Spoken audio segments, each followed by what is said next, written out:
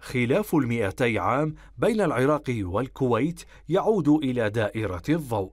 إعلان البلدين لاستئناف الحوار من أجل إنهاء ملف ترسيم الحدود البحرية أثار عاصفة من الجدل. ترسيم الحدود البحرية بالتجاوز على الحدود العراقية السيادية يعني قتل الواجهة البحرية الوحيدة للعراق.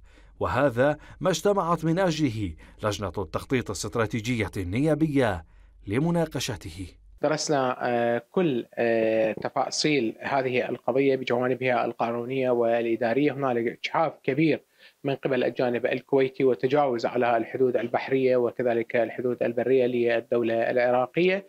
كان هنالك تلك واضح من قبل اللجان السابقة التي قدمتها الحكومات المتعاقبة. بغداد من منظار نيابي تريد أن يضمن لها ترسيم الحدود في القدرة على الوصول إلى مياه الخليج الذي تحتاج إليه اقتصاديا ولصادراتها النفطية.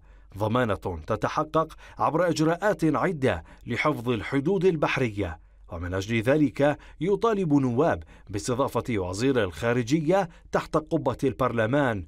في ظل التساؤلات المطروحة. يجب أن يكون هناك استضافة للسيد وزير الخارجية أولا والمعنيين بهذا الملف تساؤلات كثيرة حول هذا الموضوع. إبعاد بعض الشخصيات التي لربما آه، واجه الطرف الآخر منها أو لمس منها بعض العناد في هذا الموضوع وبعض الإصرار على ضرورة وضع المرتزمات السليمة لهذا البلد. وضمن استئناف الحوار وفد كويتي سيبحث في بغداد بمنتصف الشهر الحالي ملف ترسيم الحدود المشتركة.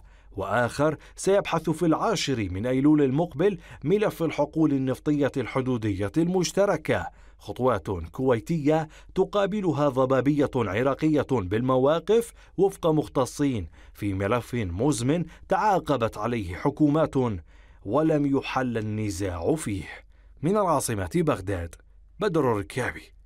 التغيير.